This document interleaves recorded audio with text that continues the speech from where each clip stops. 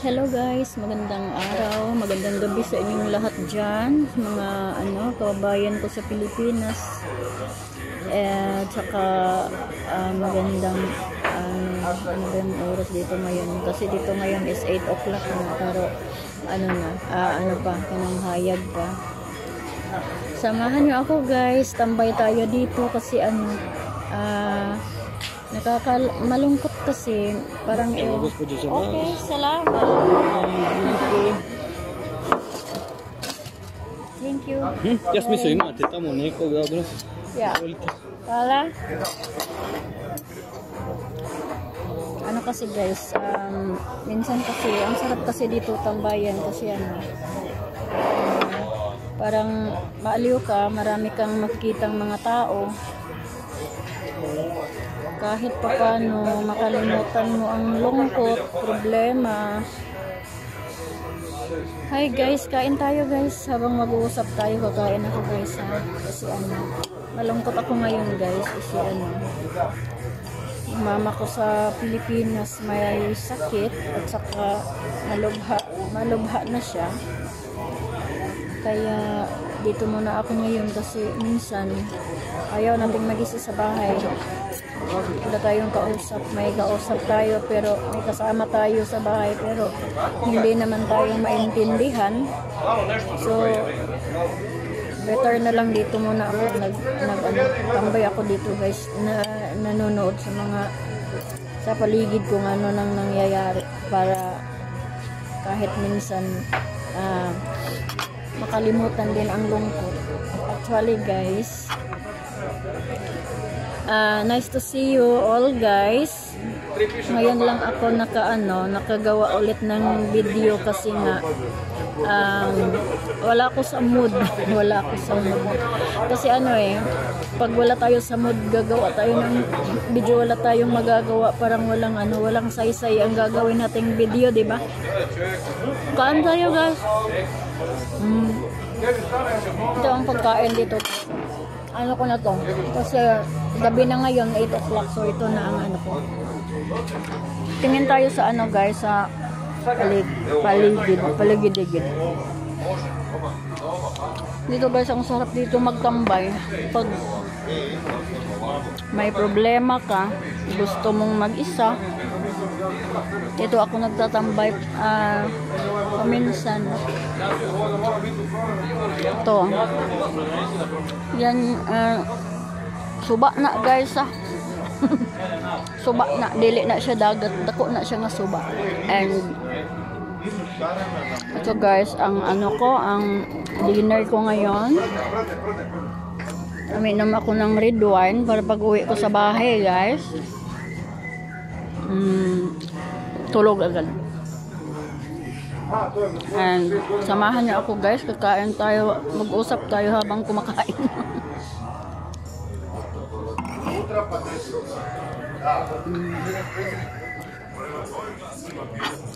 Malungkot ako ngayon mga guys kasi yung mama ko malubha na. Ang sakit ng mama ko. Tapos napaka-komplikado kung uuwi ako. Kasi yung ID ko dito um, for release ang hirap isipin na um, nasa malayo ako tapos ayokong umiyak nakakaiyak nga eh. Kaya nga eh, gusto ko may kausap diba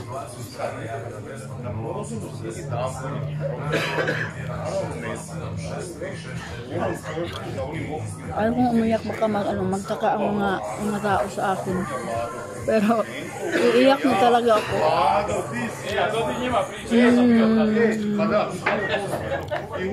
Gusto ko magtambay dito kasi pag nasa bahay ako, lagi, lagi, sigara ko mag-una sa balay. Sitwasyon ni mama. Ano na, nalugbaha na ang sakit niya kasi ngayon kasi guys, um, na mild stroke si ang mama ko. Tapos, ano, matanda si, matanda na kasi ang mama ko, mag eh, um, 80, 88, 88 years old na siya. Tapos gustuhin ko mang umuwi. Kaso ang problema, number one problem ko kasi guys is hindi ako nagpabaksin kasi dito.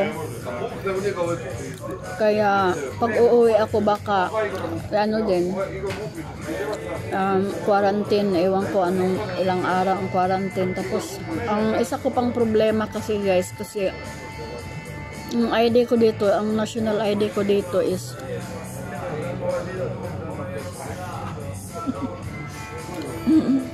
yung kaibigan ko. Siguro nagtaka sila bakit mm, na nag-istorya ako pang isa. Mm. Ang ano ko kasi guys, um, national ID ko dito sa Croatia is mag-expire na sa sunod, sunod, susunod sa next month and mm, August 29 ang release. So ang hirap mahirap talaga isipin kasi malubha ng mama ko tapos ano um, masakit isipin na parang sasabihin natin parang hinihintay na lang namin. Para kaming para kaming naghintay sa kidlat at saka ano kasi parang ganun na lang kasi mm, takot din kaming ano dalhin siya sa hospital. Dahil alam naman natin ang ang sitwasyon ngayon sa hospital. Dahil sa pandemic wala nang hindi tayo nakakasiguro ba? Ang mama ko kasi guys is mm, ano na siya guys? 88 88 I think 88 years old. At saka yung birthday pa niya is ngayong buwan na to sa July 23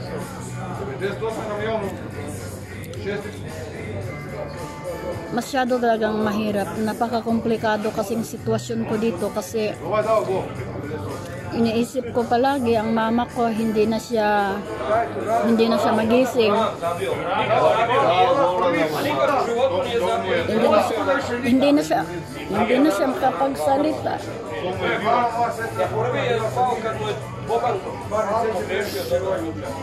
pero yung ano niya yung isip niya is buhay na buhay kasi ano makikinig naman marinig naman niya yung mga ano mga sinasabi sa mga Pasensya kayo guys ha. Um, pipigi, ah, pigilan, ano bang tawag dyan sa Tagalog? Yung pipigilan ko talagang umiyak kasi ang daming tao dito sa ano. Daming tao. Na, nakatingin sa akin. Um, napakabigat kasi ng ano ko ngayon guys, ng loob ko ngayon kasi alam natin na ano, parang huli na. Tapos na ang ano, ang lahat. Tapos nandito ako, nakaupo lang. At saka naghihintay sa kung anong posibleng mangyari, di ba? Ang ang hirap-hirap kaya, tapos ang sakit-sakit kaya, di ba? Tapos every time na mag mag mag-message ako sa amin sa pamilya ko. Hindi ko alam kung anong itatanong ko sa pamilya ko kung ano ba buhay pa ba ganito ang sakit kasi eh. masakit kasi ano eh isipin na parang hindi naman normal ang tanong na yan di ba hindi talaga normal napakasakit talaga pakinggan sa tainga every time kasi na ano gusto kong mag-chat kumustahin man ang mama ko pinili ko na lang ano, tumahimik at maghintay na lang kung anong balita. Kasi ang hirap kasi bigkasin ang itatanong ko eh. Kung ano ano na buhay pa ba ganyan.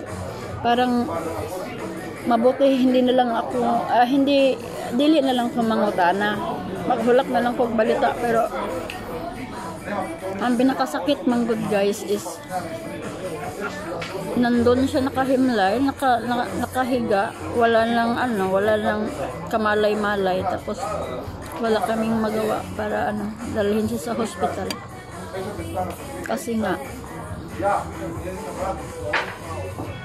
napaka-komplikado ang sitwasyon. Um,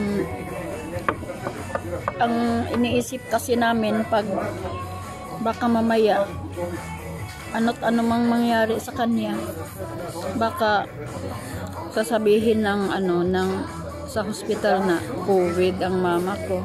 Tapos ayun mas mahihirapan kami baka hindi na namin siya malapitan sa sitwasyong yan. So kaya masakit isipin na pinili na lang namin sa bahay na lang siya manatili sa sitwasyon niya.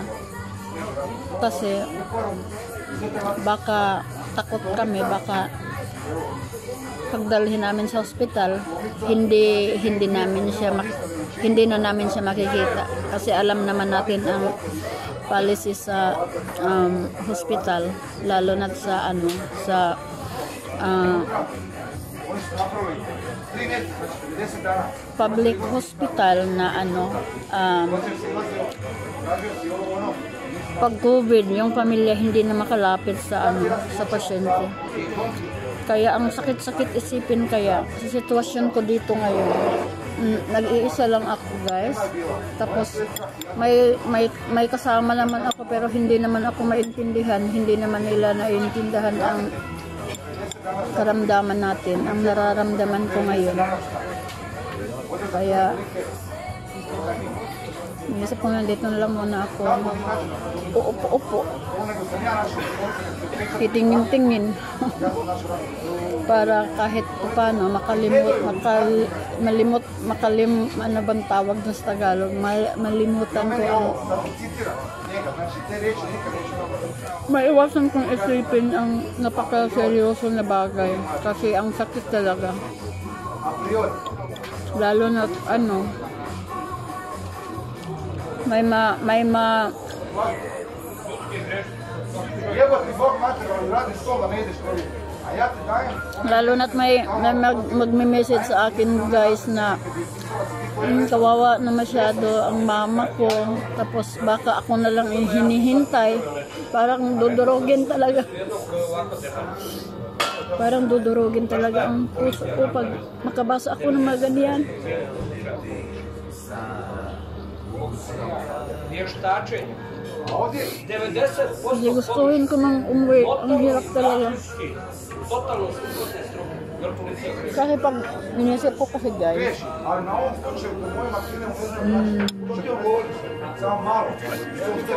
na kung uuwi ako by next month is ma-expire ang ID ko dito. Mahirap, mahirap na ako makabalik. Kasi alam niyo naman sa ano, alam niyo naman sa atin, napaka-stricto talaga. And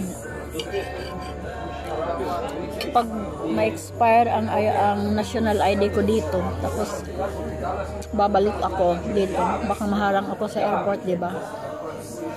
Kaya ang bigat sa dibdib at saka napakaano sa isip na ganyan talaga ang mangyari. Hindi mo maiwasan. Kasi naka ano kasi dito guys. Naka naka ano kasi dito naka nakataya kasi dito ang ang kabuhayan namin at kinabukasan ng mga anak ko. Tapos mamaya kung ano pang problema magka-problema at hindi na ako makabalik dito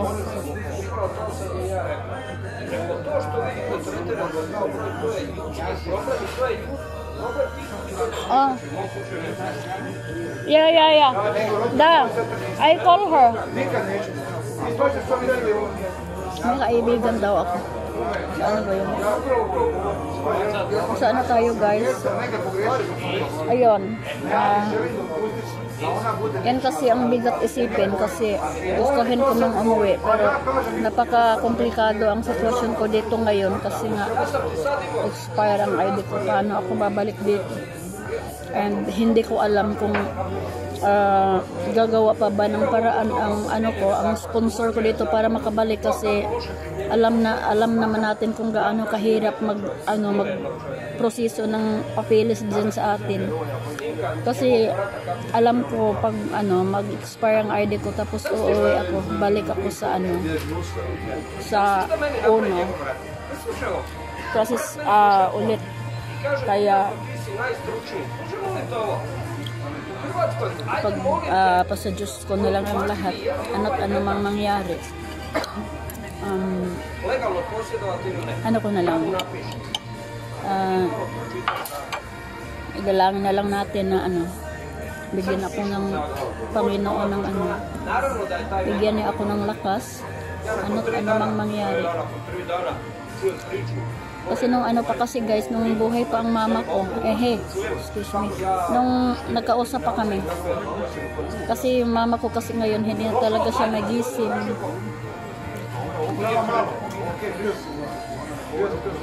Sabi pa niya sa akin, kasi tar- bala ko kasi umuwi sa October. Tapos naka-smile pa siya nung last namin video ko, naka-smile pa siya, sabi niya, hi- hihintayin daw niya ako. Kaya, ayun, ang sitwasyon niya ngayon, parang pahirap na ng pahirap, napakasakit isipin. Dito lang ako nakaupo, tapos parang naghihintay lang ng hirap ipaliwanag.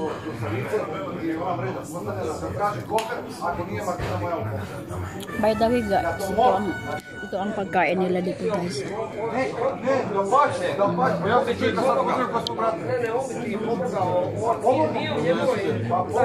Walang rice. At ito, salad. Mm. Dati-rati hindi ako ka- kumakain di ng mga ganito kasi ano sanay tayo sa atin na niluluto natin luto, luto ang luto ang mga kinakain natin tapos mahigit ano na ako dito. Mm, 4 years na ako dito ah ne mag 3 years na ako dito. Nasanay na rin ako kumakain sa mga ganito kasi wala tayong choice. je davno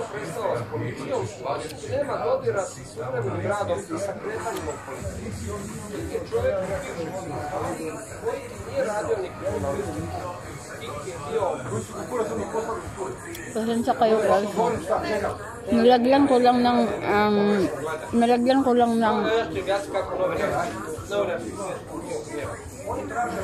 nilagyan ko ng background kasi hindi ako nag-ayos. Nakakahiya naman.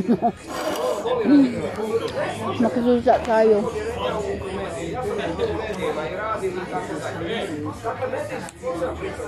i radi i tako dalje. Dakle, ne ti se pričao, ali to sam ti htio reći, nije bio kriminalist. Šta ona? Policiji su zajedno sve što sam dao. On, on, on, većinom stane na stranu policije, jer ne želi da njega ta policija protiv Za razliku od mene, kako may ito ang ginagawa uupo lang ako. Uupo lang ako dito. Hindi na ako mag ano, hindi na ako mag-make up wala na. Kabis lang ako ng okay lang. dito na nemaš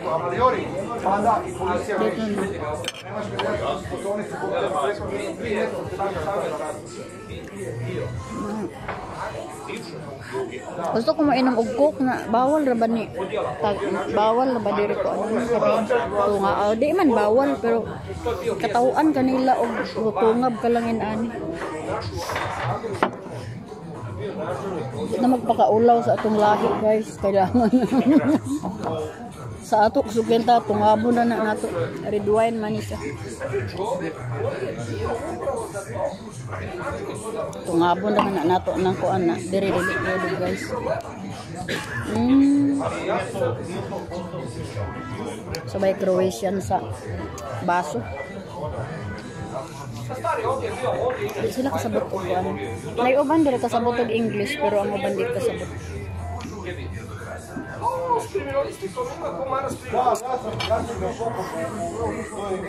Guys, thank you guys.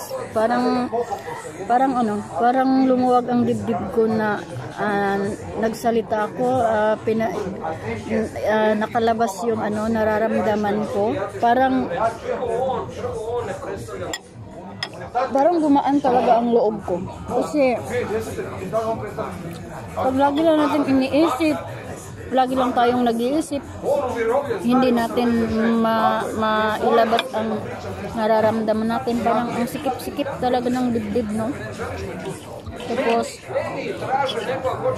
ngayon parang feel ko na ano, parang ah, nalabas ko yung nararamdaman ko, parang lumuwag ang ano, ang dibdib ko talaga, promise. Kaya nga eh, sabi ko noon, sabi ko noon, baka hindi ko hindi ko makaya mag-vlog kasi mahiya nga ako. Baka tatawanan lang ako sa mga ano, mga viewers. Eh, eh ganyan lang.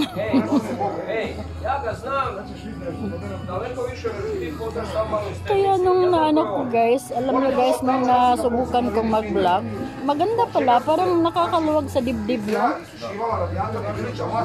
Kasi yung mga ano, yung nasa loobin natin, nasa loob natin, gusto natin ah, sasabihin, eh, naano natin, nasabi natin sa vlog.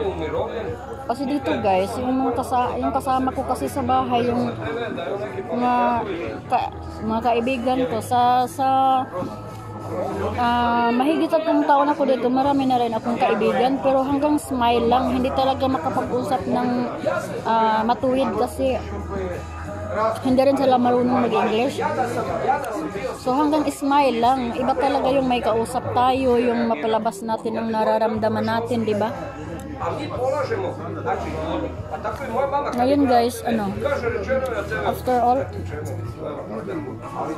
nasabi ko sa lahat, nasabi ko ang lahat, parang lumuwag din ang ano ko ng dibdib ko. Salamat talaga guys. Ang dami kong ano, ah, napakadami nito. Yun ang problema ko dito guys kasi ano, isang order ito ng pagkain, ang dami-dami. Nakon 26 sata bio pušten i bio na slobodi. I njegov odgovor je bio taj, da su oni imali, da su oni imali znači kod njega spremni u autu, u puntu, imali su se uređaje. Pero alam nyo guys, ano, mula ko na, sa Pilipinas kasi guys, um, hindi naman sa ano, hindi ako nasanay kumain ng gulay. Ma radi sebe, radi svog imidža, eto bio sam na tebe u ono, vjeruj. Pero dito kasi mahi- mahilig sila ng mga mga ito, fresh vegetable. Je Sa edad ko na rin ngayon, ano, um, sumikap ko talagang ano, ah, kumakain kasi matanda na ako. Um, doon sa ah, Pilipinas, ano kasi, parang walang disiplina sa kain ba, walang ano, walang bina, walang bawal sa ano, yung gusto lang natin, sinusunod natin. Pero dito, badal. nagtuon ko diri kaon utan kayo. Labi na yung mga fresh nga vegetable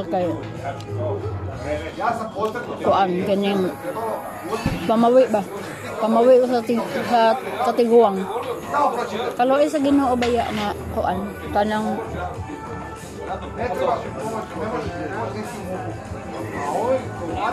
kabalo na kong kaon ani. Wala ko'y gabat yun sa lawas. Saba mo kayo ng mga kon. Ano sa kuan? ali nije više u interesu. Prošlo je, u svetom trećem krizi, 11 godina. 11 godina. Nikom nije u interesu. Prošli, Svako pravo, svako pravo da se bori Ang ganda ng ano ko guys, no? Ang ganda ng ano ko, ang tawag dyan. Kasi para din ako naka-makeup. Wala akong makeup. Naglagay lang ako ng ano, ng background kasi wala akong makeup talaga. Kaninang umaga, punta kami dito sa town kasi may binili kami. Nag- Naglagay lang ako ng ganito. Tapos, naisipan ko kasi, hmm,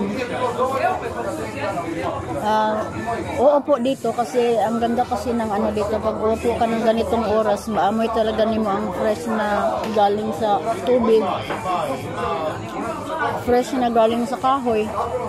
Kaya ang sarap dito, magtambay ka kung ganitong oras. And, hi Dai, thank you for watching. Nakuan ko dai ga ga live ko kaya ako nang ikuan.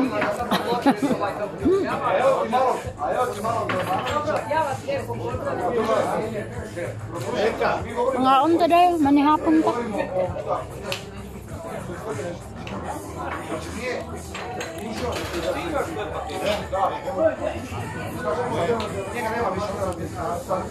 Kana eh? Um, can I ask one glass? Šta da radi? Ajde sad, šta da radi? Sa ngalan ano ni? Meni je županijski državni zvanič, zvanič, Ano naman yun? Maulam og tungab lang eh, nakiinom og ko. Maulam og tungab kaya ang mga tao nakalantaw sa ako. ah.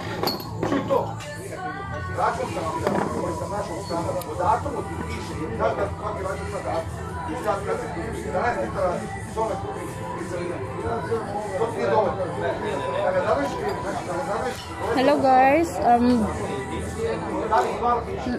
titingin tayo ulit sa pal- paligid guys. Lit-lit ng, ah, kunti na lang ang mga tao. Ang ganda ng ano guys, no? Ang ganda ng view. Shout out, Inday, Badiday, Dayan Love, Betoday. Thank you for watching.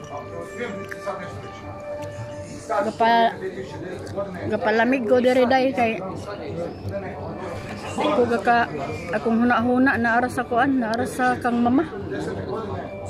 Dami mag-expose pud ko sa gawas kay og naara ko sulod sa balay kasi gara ko huna-huna ni mama ay magakaguol ko guna-una gid ang Pero komplikado man gud kayo ang sitwasyon og kuan. Muuli ko kay wala ko na baksin unya mahadlo ko pa baksin diri. Unya ug magdali-dali ko og pa baksin pud gisamot ko kahadlo kay tensyonado ko karon. Dili stable lang ako ang kuan.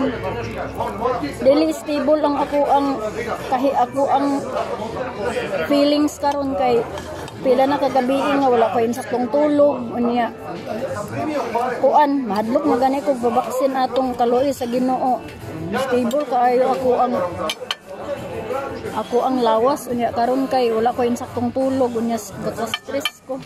Una na ako permi ni mama nga sa sitwasyon nga katuluga na lang unya sige ko gakaguol ko nga sana inana na lang hulaton na lang og sana sakit sa dughan. Nang gapakuan ko diri gapa gatambay ko diri sa gawas kay mura pud kog na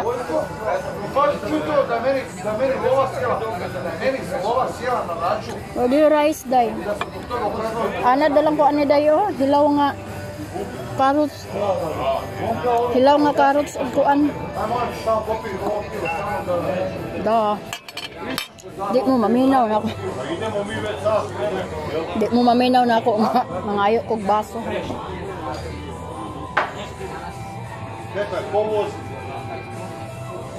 I'm making video.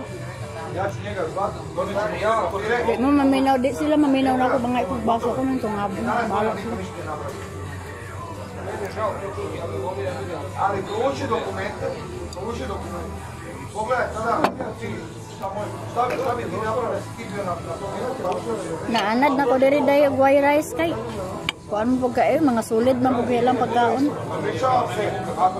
Pero sa balay, maglungag gid ko kay maghapdos man gid ako ang tiyan ko. Dili ko makakaog rice. Pare atong pagbakasyon namo sa Rica. Ano ba may dito ka adlaw? Sus, nga 4 days na. Di- Wala na gud ko kaon-kaon rice lain na gud. Lain na gud akong gibati, hawang na gud kay akong kuto-kuto nga bisag daghan kay akong kaonon di na gud ko mabatig busog. Nang ko nga mangit, nangita gud ko ani rice so ako Nawaan gud mi nangita gud mi rice ah, magali kay nakakita mi. Karungan gud ko. Mangita gud ko rice, gud ko mabuhi og rice.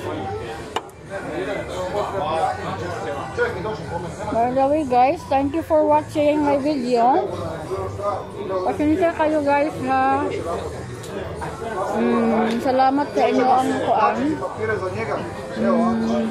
Pag-join sa ako ah, kay gakalubat na ko guys, ako na lang i-end garon. Nagtiwas sa pudayin kong kaon. Mm, para sila sa ako, nag-asa ko na kung ka-story, ako nag-I making